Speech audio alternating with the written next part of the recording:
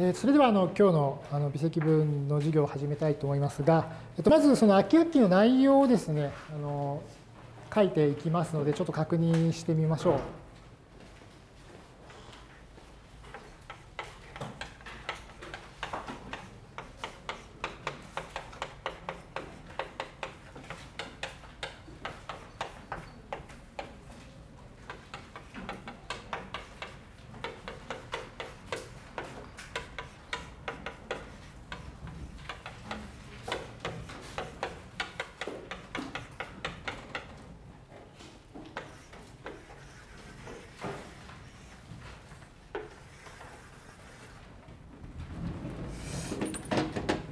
えっと、まだここはお話の部分ですので、あの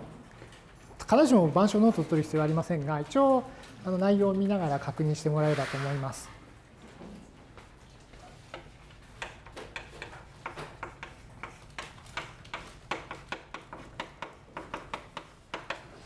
でまずあの、この講義の教科書ですと、第4章から始まります。で第4章の内容は、多変数関数の微分法です。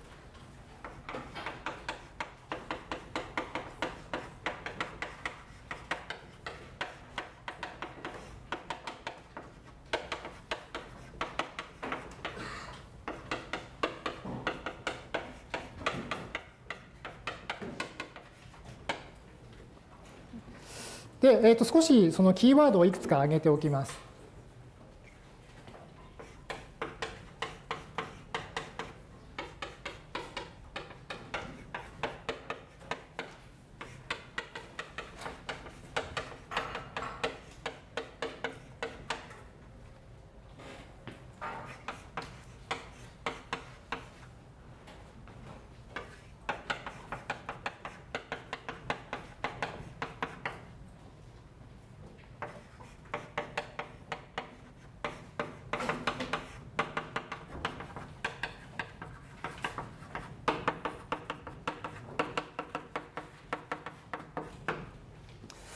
えー、がその多変数関数の微分法の主なキーワードなんですが、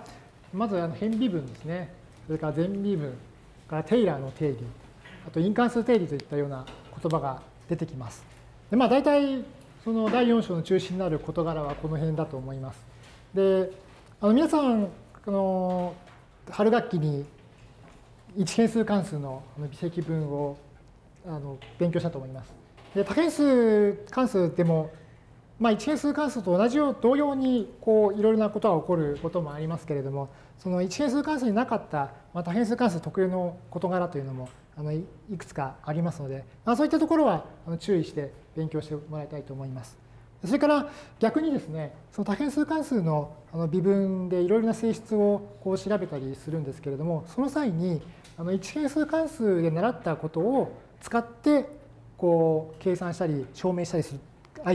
アイディアを使うっていうところもあの結構ありますのでですのであの一変数関数に関するあの微積分の内容っていうのもかなりあの重要になってきます。ですので、まあ、この夏休みを経てですねこう頭が空っぽになったなっちまったなという人がもしいましたらあの少しあの一変数関数の内容も思い出しながら授業を受けてほしいと思います。で次に第5章があのせ、まあ、微分とくれば次積分なんですが多変数の場合は重積分ですね。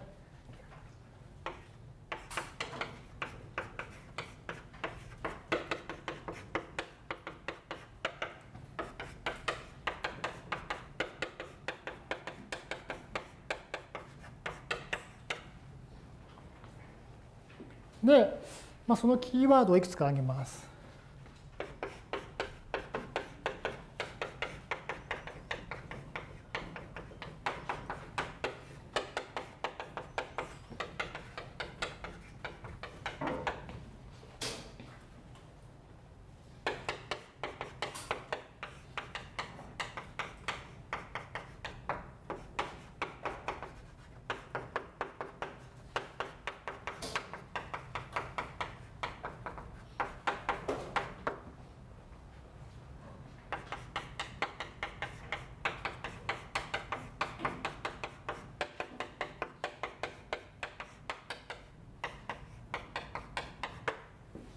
で、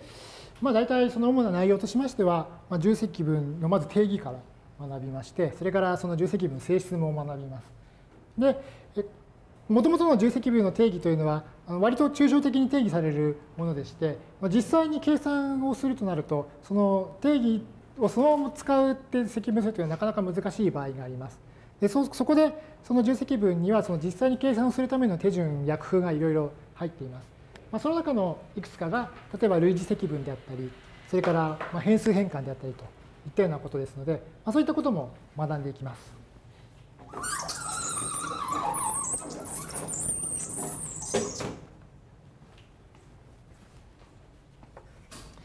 それからあと第6章が無限級数という章があります。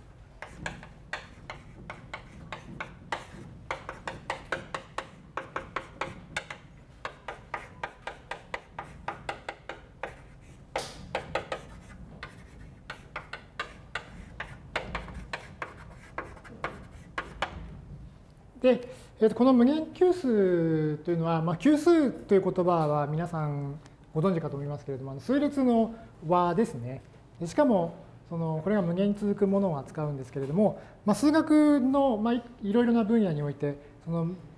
あのいろいろなこの対象となるものの性質を調べるのに、この無限級数を調べることによって、こう数学のいろんなものを調べるということはよく行われております。で、まあ、その際にですね、この無限級数自体の性質もいろいろ知った上で、こう、その性質ですかと使い方を学ぶというのがこの第6章の内容なんですけれども、まあ、あのこれこの第6章の無限級数についてはその、ま、数学を専門に志す人ですとかそれからその例えば、まあ、物理の一部のようにその自分の進む分野でよくこれを使うという人にとっては必須なんですが、まあ、あのそれ以外の人にとっては必ずしもあの必要、まあ、重要性はより小さい部分があるかもしれません。ですので、まあ、この授業では、まあ、第4章の変微分とそれから第5章の重積分を中心にやりましてで、まあ、無限級数については、まあ、時間との相談ですね、まあ、この授業時間との相談であの、まあ、取り上げるというふうにしていきたいと思います。え大体以上がこの秋学期でこう学ぶ内容です。で、えっと、もう一つ、もう一度その強調しておきますと、その多変数関数のあの微分や積分というのは、そのまあ、一変数関数の微分や積分の性質をこう使うという機会が結構ありますので、まあ、必要に応じてその一変数関数の内容ですね、この春学期に習ったことをこう思い出しながらこう授業に臨んでほしいと思います。はい、ここまで質問などありますでしょうか？はい、えー、っと、あと30分ぐらいですかね、最初のコマが。じゃあ、あと、それでは実際にその第4章の内容に入っていきたいと思います。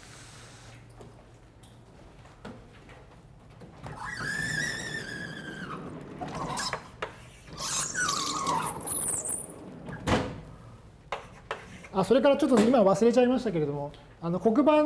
を書く順書いた順番にこの番号を右上に振っていきます。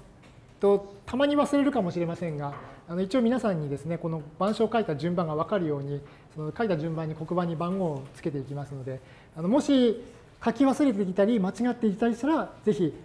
教えてください。あのすぐに教えてもらった方がみんなのためにもなりますので、よろしくお願いします。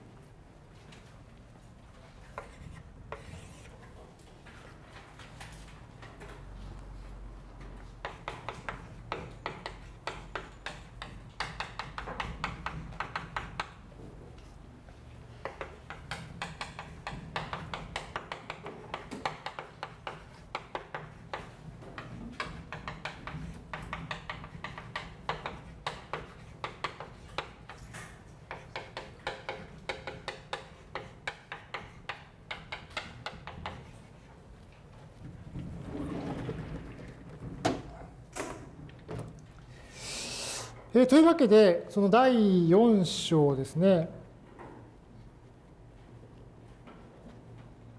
えー、と講義の教科書ですと123ページからになります。で、まあ、春学期でですね1が、1変数の微積分を一通りやって、もうだいぶ微積分なんて言葉は慣れたよと思ったところでこう教科書開いていくとこうなんか点集合とかですねこう距離とかですねいろいろなんかあんま人によってはわけのわからんこう概念がバーッと出てきてなんであのすぐに微分とかを計算極限の計算なんかやってくれないのと思う人もあのいるかもしれませんけれどもと実はと思い出してみるとその第一章の最初のところでも例えば実数の連続性ですとかあと集合の概念ですとかあの上限や下限といった概念をやったと思います。でこれがですね多変数になりますとこういくつかの点でその1変数で使っていた道具を多変数に拡張してこう使うということが必要になります。またはその1変数では考えなくてもよかった事柄をですねその多変数の場合には考えなければならないと。でそういったためのその道具立てがいくつか出てきますのでこれを最初に一通りやります。でそういうわけでちょっとあの最初は抽象的でつまらないところがあるかもしれませんけれども、まあ、なるべくその抽象的なところはそのももより具体的な例で少し補いたいと思いますので、えー、と聞いていてください。で、えー、とまずそのセクション4.1があの Rn の点集合と多変数関数というところが入ります。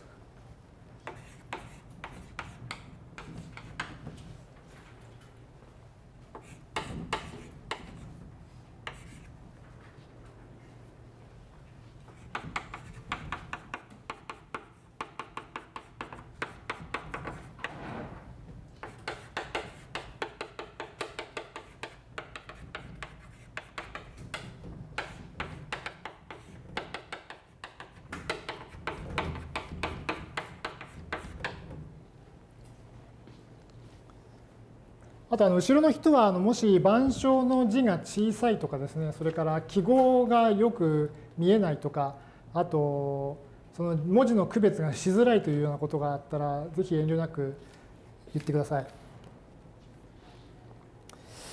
で、えーとまあ、R あそうかこの読み方普通 N が肩にかかると N 乗って読みた読む読むかと思うんですが、えー、とこれはその、まあ、実数の、まあ、N 次元の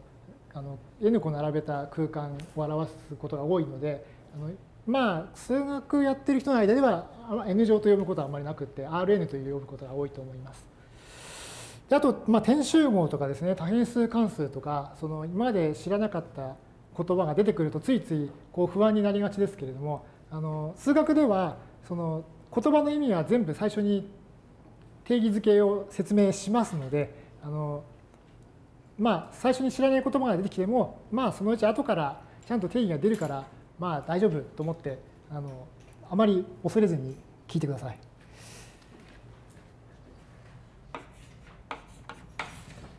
で、えー、最初に点集合ですね。点集合という言葉が出てきました。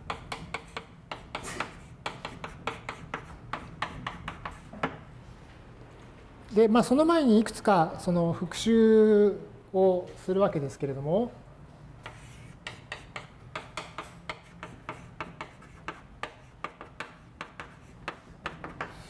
とまあ、集合のいくつかの言葉をまあ復習しておきましょう。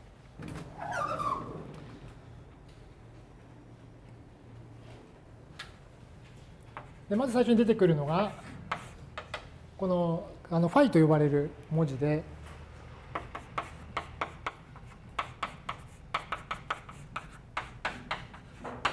まあこれは空集合を表しました。空集合というのはその要素がない集合ですね。で、そので、こう、この記号を見かけたら、まあ、空集合と思えばいいわけです。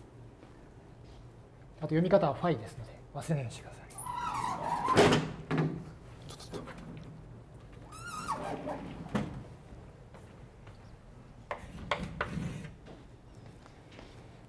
で、それから、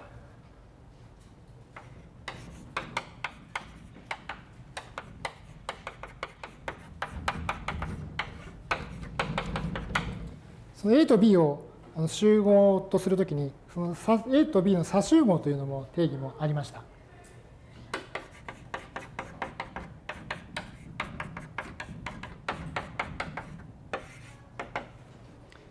で、これはどういう問題だったかというと、まあ、記号ではあの斜め線集合の差を取るときは斜め線を使って表すんですが、まあ、要は引き算ですね A から B を引いた集合という呼び方をするんですけれども、えー、とまずその先にその図を書きますとその教科書の図の4.1にもありますように、まあ、これはよくあるベン図と呼ばれる図ですが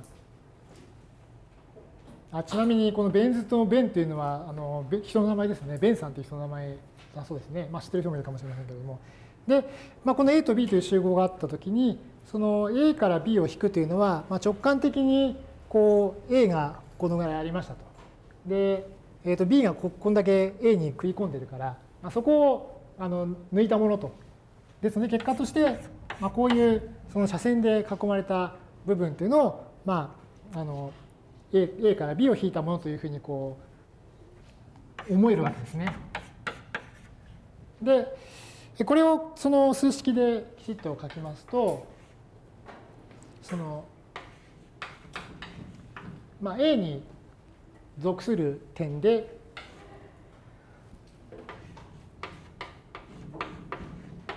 えー、と B には属しない点の全体という意味になります。え、これ、そうですね。あのですから具体的にもう少し書くと、例えば、えー、こういうところにまあ A がありますと。で、A はこの集合 A の中の一つの要素なんだけれども、まあ集合 B の要素ではないってことを意味していますね。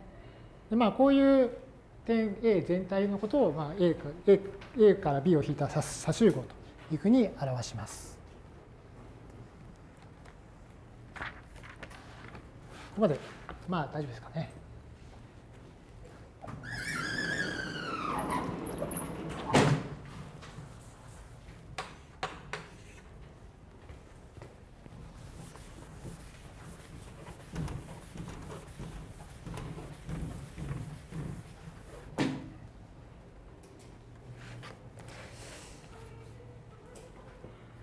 で、えーと、まず集合の言葉をいくつか復習しまして次にその座標とかですね点という言葉について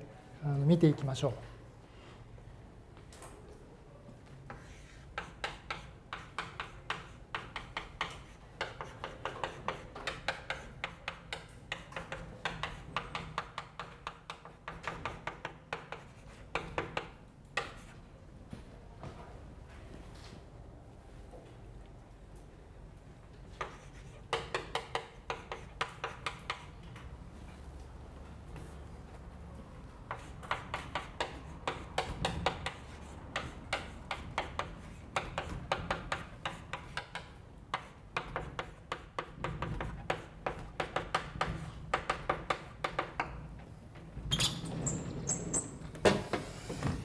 えー、直行座標系と N 次元ユークリッド空間という名前を付けました。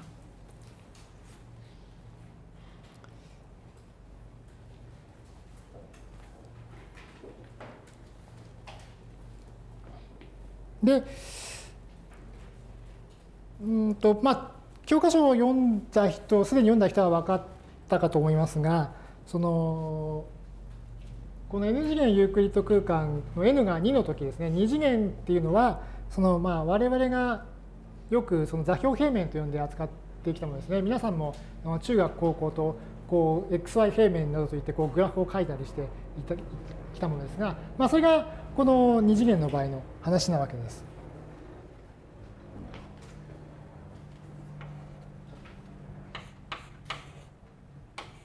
で、えー、と今からちょっと書くことはですね、その、まあ、その点、その座標と、それからこの空間内の点との対応付けなんですけれども、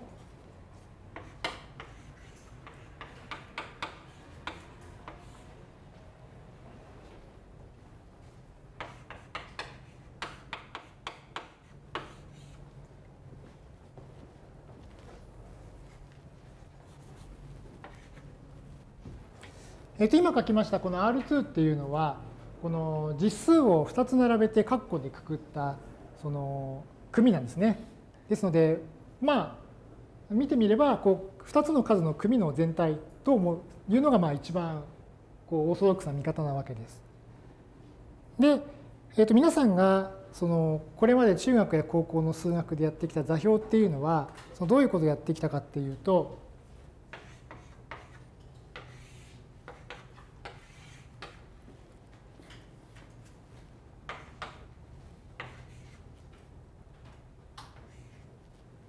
えっとこちらの左のものっていうのはあくまでもその2つの数の組に過ぎないんですね。でそれとこの平面上のこの任意の場所を対応づけたいと。でそのためにそのどういうアイディアをこう学んだかというとこの平面上に一点あの原点というのを定めます。そしてこの原点を通ってあの垂直に交わる2本の矢印を引っ張りましてで一方に x 軸もう一方に y 軸という名前を付けます。そしてとこの原点からですねこの x 軸の方向に a それから y 軸の方向に b 進んだところに印をつけてでえー、と A からは y 軸に平行な直線を引いてで B からは x 軸に平行な直線を引くとそうするとここに交点ができます。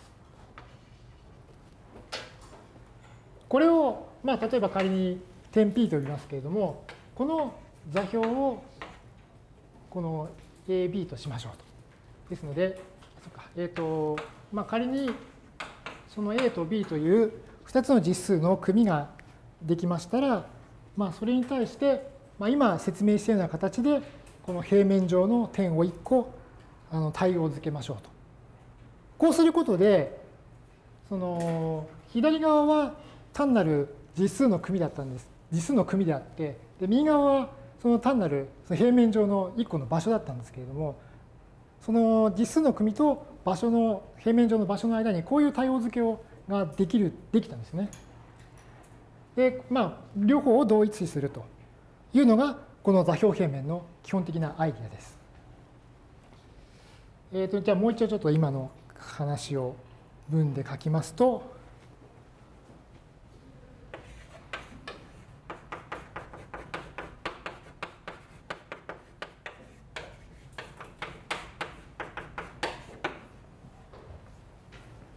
2つの実数の組と、あ、これ AB ですね。AB と、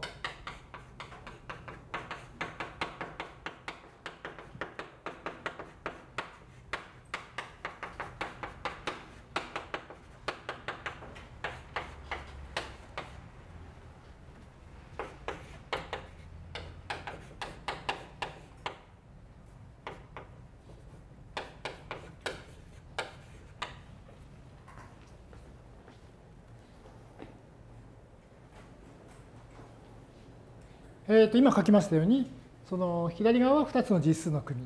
それから右側は座標平面上の点。でこういう対応付けで、そのこの2つのものを同一するということで、まあ、このあの座標平面をこれからその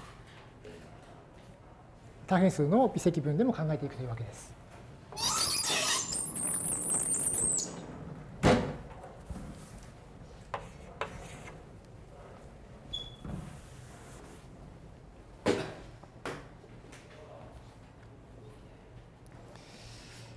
でそれでじゃあどういうご利益が得られたのっていう話多分疑問を持つ人がいるかもしれません。とまあ、これはちょっと数学の歴史に関すちょっと関わる話にもなるんですけれどもこれによってその何と何が対応づけられたかって言いますと、まあ、例えばもともとその、まあ、ユークリッドのの言論などにからもあるその幾何学ですね幾何学で考えられていたその対象というのはその平面上のあの直線や曲線でした。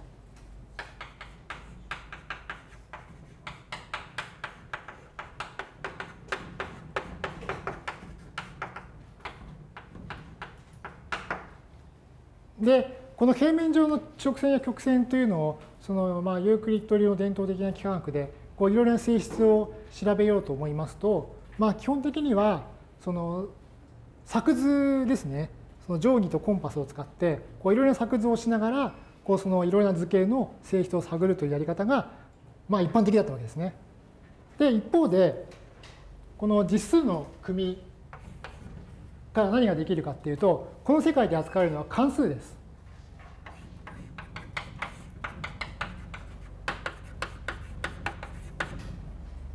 えっと、皆さんその、まあ、小学校の頃からやってきたように、まあ、1次関数は直線を表してであとは2次関数でこう放物線とか、えー、楕円とか双曲線を表すといったような形でこうあの実数の組の世界ではその関数を扱ってきたわけですね。でそれでこの対応付けで何が起こったかというとあの実はその平面上の直線や曲線をですねこの実数の世界で考えていた関数に対応づけることができるようになったということです。で例えばその皆さんそのすぐ思いつくかと思うんですけれども例えばその平面上の直線っていうのはあのこの R2 の世界ではあの y イコール x プラス b という一次関数で表されるわけですね。で平面上の曲線についてもその R2 の世界では x2 乗プラス y2 乗イコール、まあ、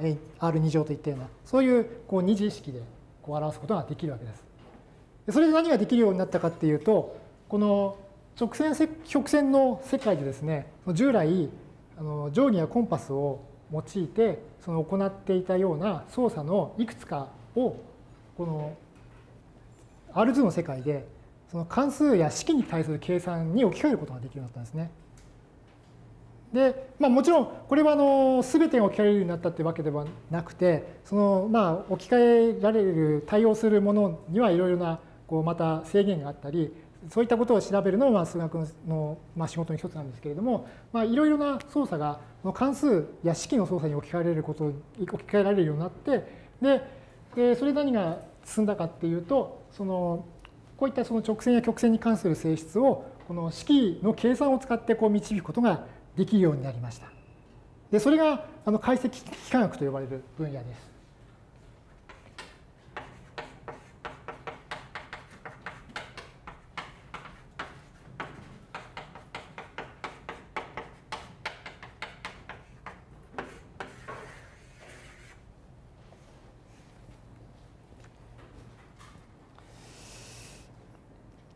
もう少しきちっと書きますね。じゃあ、えっ、ー、と、解析幾何学は。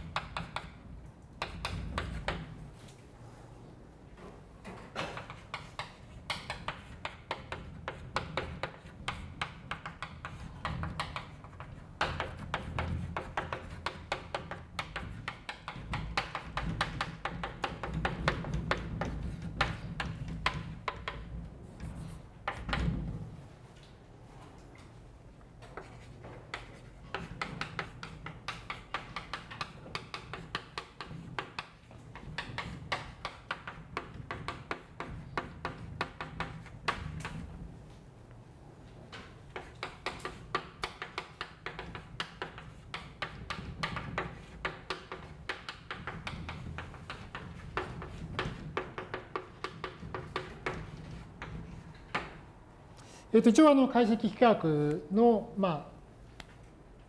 そうですね、このど、まあ、発祥というのをもう一回ちゃんと書きあの文章で書きましたけれども、えっと、今のようにその直線や曲線と、まあ、式を対応させることによってその幾何学のいろいろな性質を、まあ、代数的な計算でを使ってまあ理解することができるようになったと。まあ、そういうこうな歴史的な流れがあります。ですので、あの皆さん多分高校の数学1などであの正弦定理や余弦定理なんかを勉強してでそれでこうあの例えば円に内内接する四角形なんかを考えてそれのいろんな性質をこう計算しましたよね。あの計算したというのは実はこういうあの歴史的な流れの成果を使ったってことなんですね。で、まあ、あのあとはそのこういうことによってその他にそのこの多変数の微積分に関して何ができるようになったかっていうとうんとこの、まあ、今はその平面上の点とですねそれから xy っていうその2つの実数の組みを対応させましたけれどもこれを3次元にしてですねこの空間内の点とそれからこの実数の3つの組っていうのを対応させることによって例えばその物体の運動なんかありますよね。これをその R3 の世界でこう理解すると。でそこでその式の世界では当然あの微分なんていうことも考えますから、えそういったことを通してその、まあ、空間内のこういろいろな物理的な現象をこう記述したりとか理解したりとかそういうことがこの空間とその実数の対応付けによって可能になったということも言えます。でまあ皆さんこれからその勉強するこの多変数関数の微積分っていうのもこういう背景にの基づいての中でこういろいろなことをやってるということを認識してほしいと思います。えここまでいいでしょうか。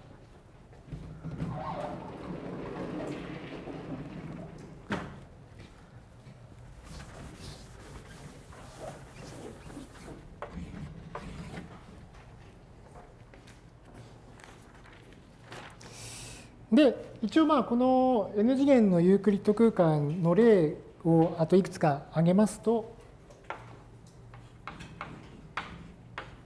例えば今も少し話をしましたけれども R3 ですね R3 はこの次数の三つ組なわけですね。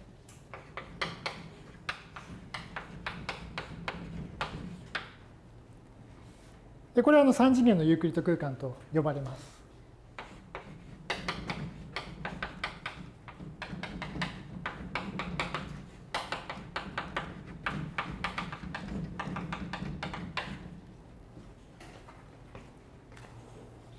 まあ、あとはあのもっと一般的にしたものに、まあ、R の N というのがありまして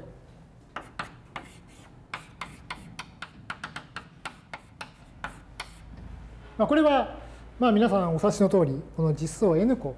並べたものですね。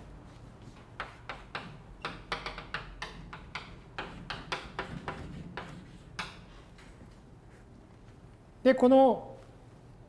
まあ、集合の名前も同じように、まあ、n 次元のユークリッド空間と呼びます。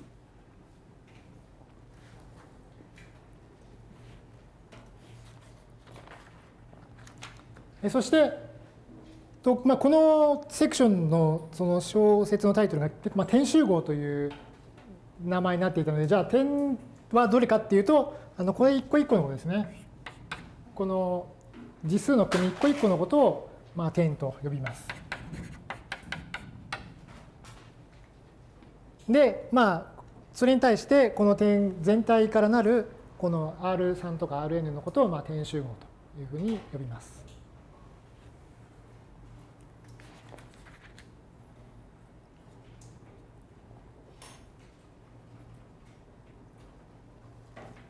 こまでいいでしょうか？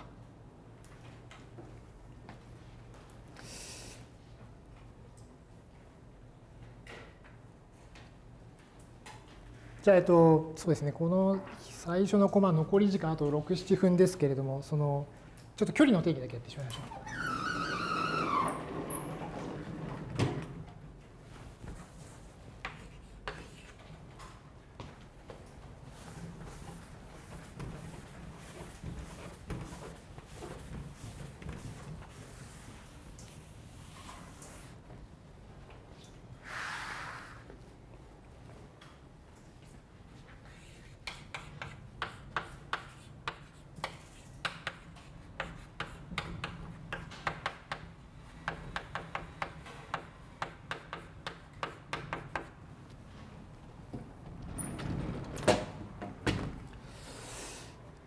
でこの距離という概念も一変数ではその、まあ、x 軸だけ数直線だけ考えればよかったですからこの数直線の例えば与えられた2つの点の間の長さを考えればよかったんですけれども今度はその、まあ、2次元とか3次元とか一般に n 次元の世界を考えますので、まあ、それに合わせてこう、まあ、拡張する必要があるわけですね。で多分多くの人はすでにどういった定義をしているかっていうのはどこかで聞いたことがあるかと思いますが一応あのきちっとあの復習しておきます。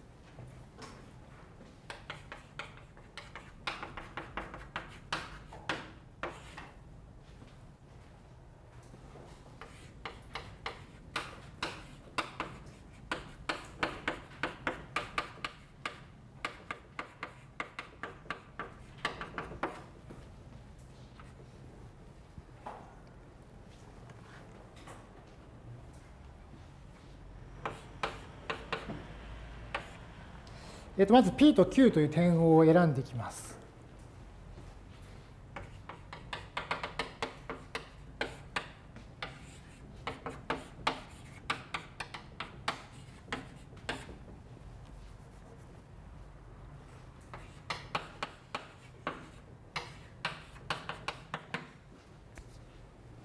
えっと P と Q はともに Rn、まあ、N 次元のユークリッド空間の点としまして、で、その座標を P は x1 から xn、それから Q は y1 から yn と、まあ、こういう座標で表されるとしましょう。で、この時に、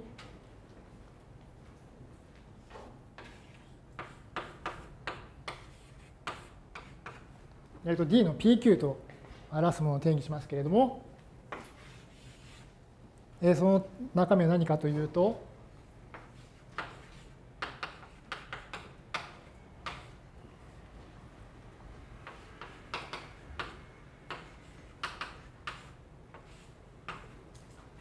えこう書きましたようにその各座標の差の2乗の和を取るとですね、えっ、ー、とまあ x あ p の j 番目の座標は xj それから q の j 番目の座標は yj と。で xj-yj の2乗をこう全部座標の数だけ加えてでその平方根を取りなさいと。でこれを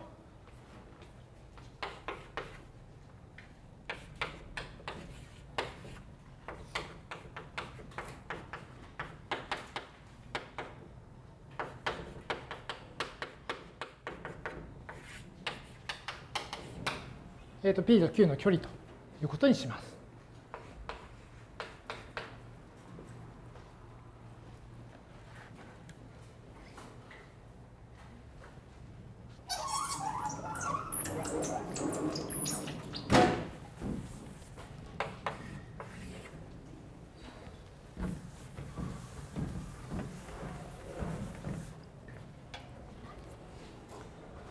で、まあ、あのこういう定義が出てきたら、えー、とまず、まあ、抽象的でよくわからないという場合には、えー、とまず例を考えてみましょう。こう例を考えてこう少しでも理解に近づくと。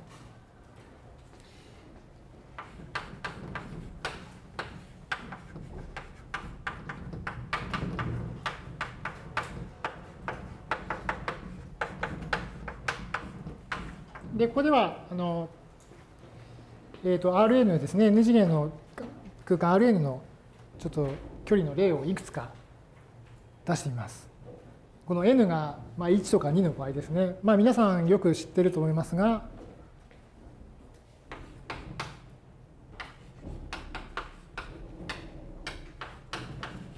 えー、とまず n が1の場合っていうのは実数の場合ですね。で、この場合は、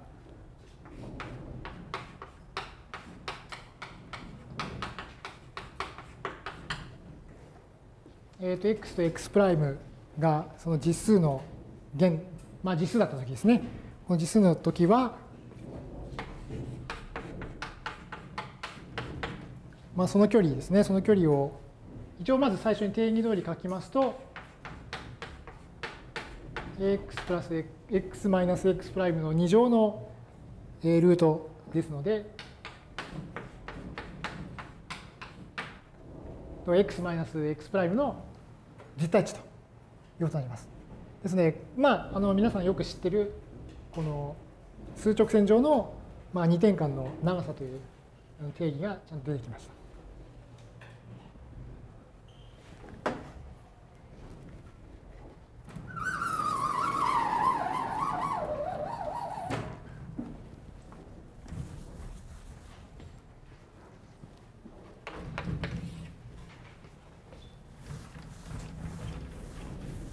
さあ、チャイムが鳴るか、どっちが早いかですけども、もう一つ例をやってみますと、n イコール2ですね。えこれはあの、まあ、よくある座標平面の例ですけれども、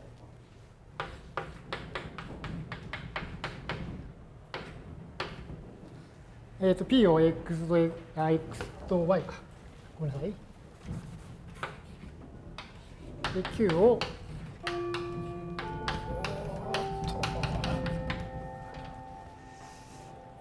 チャイム鳴っちゃいましたね。うんと。